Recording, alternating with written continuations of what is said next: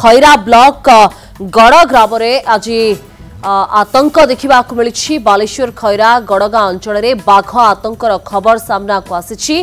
ତେବେ ଜଣେ ମହିଳାଙ୍କୁ ବାଘ ଆକ୍ରମଣ କରିଥିବା ନେଇ ସୂଚନା ରହିଛି। ଏନେଇ ଗ୍ରାମବାସୀ ବନ ବିଭାଗକୁ ଖବର ମଧ୍ୟ ଦେଇଥିଲେ।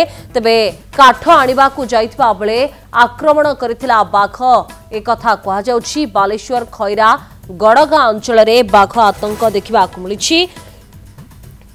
ଜଣେ ମହିଳାଙ୍କୁ ବାଘ ଆକ୍ରମଣ କରିଛି। ତେବେ ଗ୍ରାମବାସୀମାନେ ବନ ବିଭାଗକୁ ଖବର ଦେଇଥିଲେ ଆଉ ବନ ବିଭାଗ ପହଞ୍ଚି ଖୋଜିଥିବା ବେଳେ ବା ବାଘକୁ ଖୋଜିବାରେ ଲାଗି ପଡ଼ିଥିବା ବେଳେ ଗ୍ରାମବାସୀଙ୍କ ଭିତରେ ଗୋଟିଏ ଭୟର ବାତାବରଣ ସୃଷ୍ଟି ହୋଇଛି।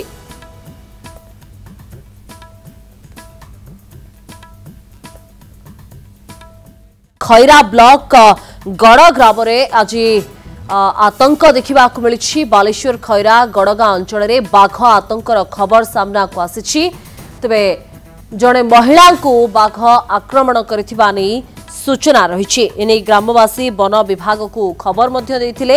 ତେବେ କାଠ ଆଣିବାକୁ ଯାଇଥିବା ବେଳେ ଆକ୍ରମଣ କରିଥିଲା ବାଘ ଏକଥା କୁହାଯାଉଛି। ବାଲେଶ୍ୱର ଖଇରା ଗଡ଼ଗାଁ ଅଞ୍ଚଳରେ ବାଘ ଆତଙ୍କ ଦେଖିବାକୁ ମିଳିଛି। ଜଣେ ମହିଳାଙ୍କୁ ବାଘ ଆକ୍ରମଣ କରିଛି ତେବେ ଗ୍ରାମବାସୀମାନେ ବନ ବିଭାଗକୁ ଖବର ଦେଇଥିଲେ ଆଉ ବନ ବିଭାଗ ପହଞ୍ଚି ଖୋଜିଥିବା ବେଳେ ବା ବାଘକୁ ଖୋଜିବାରେ ଲାଗି ପଡ଼ିଥିବା ବେଳେ ଗ୍ରାମବାସୀଙ୍କ ଭିତରେ ଗୋଟିଏ ଭୟର ବାତାବରଣ ସୃଷ୍ଟି ହୋଇଛି।